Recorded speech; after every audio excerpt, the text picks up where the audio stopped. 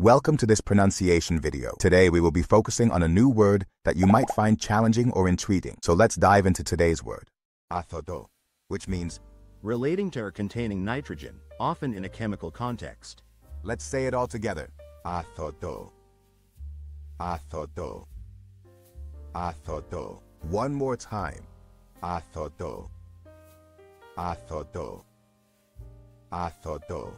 Thank you for joining us on this adventure in pronunciation. Remember, language is a journey, not a destination. Keep exploring, experimenting, and expanding your linguistic horizons. We'll see you next time.